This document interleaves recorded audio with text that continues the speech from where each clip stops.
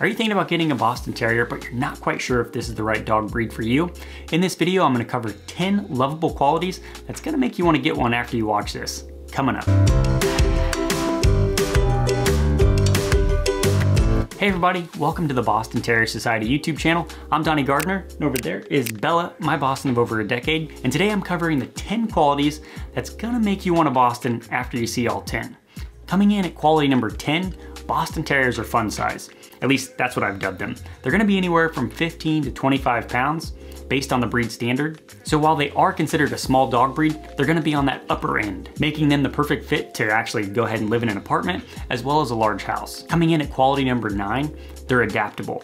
So let's first look at adaptability in two different ways. First, their size. So they're not tiny like a Yorkie, so they can rough play with kids and not get injured. And they can also, you know, have fun on the farm. They can also be around an apartment. So they're adaptable in just the size part. Now when I look at the other form of adaptability, it's really their personality. So whether or not you personally are a couch potato or somebody that likes to go on hikes, Boston Terriers can do both. I know just looking at the photos of the Boston Terrier Society Facebook group, there there's over 12,000 members, and every day you'll see pictures of Boston Terriers, whether or not it's them hanging out at the lake, swimming in the ocean, or just cuddling on the couch, your Boston can be adaptable to that. Coming in at lovable quality number eight, they will make you laugh, whether or not it's singing in front of the TV, or maybe doing zoomies in the snow, Bostons are gonna bring a smile to your face. Coming in at number seven, Bostons love to cuddle. Basically two different ways. Number one, I went ahead and asked the Boston Terrier Society community on my website, I surveyed 50 Boston Terrier owners, asking them, does your Boston Terrier like to cuddle? And 94% of people out of that 50 in the survey said yes, their Boston loves to cuddle. Now I wanna dive deeper into this. And another thing that I did on the Boston Terrier Society Facebook group, I conducted a survey there and I asked, would you say your Boston Terrier is affectionate? And 99% of people said yes. Now this was 160 votes, so out of 160 people, 99% of them said, yes, their Boston Terrier is affectionate. So if you're looking for a little cuddler, the Boston Terrier is the right dog breed for you. Coming in at number six, Bostons aren't big barkers, which I personally love. Bella here, she pretty much only barks at me or if somebody's walking up the stairs to our house. Hi Bella, go inside. And that also kind of lends into them being great guard dogs because they really only bark when there's something going on. Of course, if I'm sitting on the couch, then Bella just wants to bark at me if I'm not playing with her.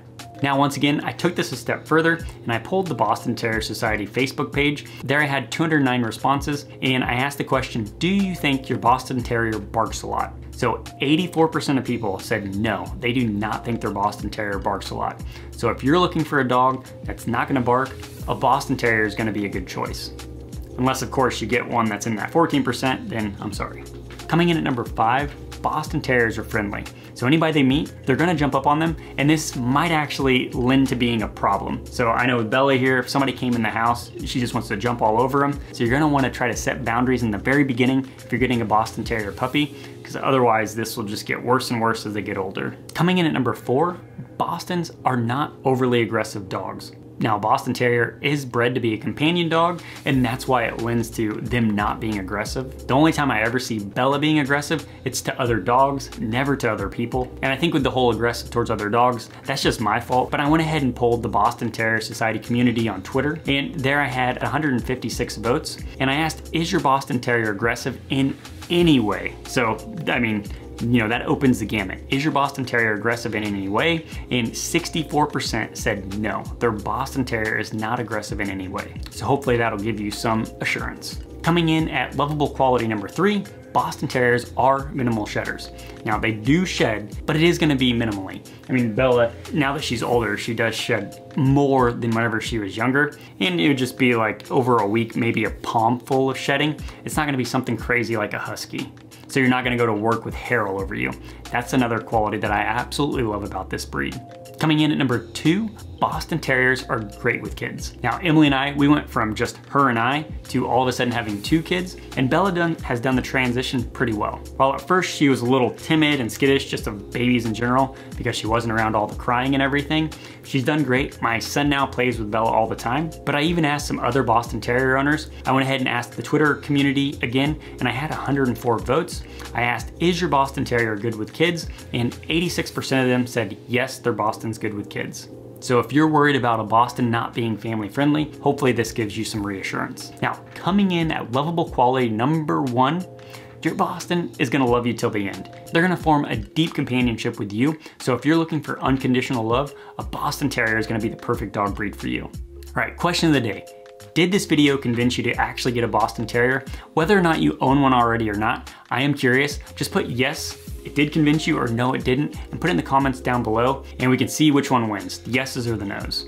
Now, if you're now looking to get a Boston Terrier and you still have other questions, definitely check out that playlist I created. I'm gonna put it in the show notes below. Until next time, life is better with a Boston. Right, Bella? I don't know if you can hear her snoring. All right, see you guys later.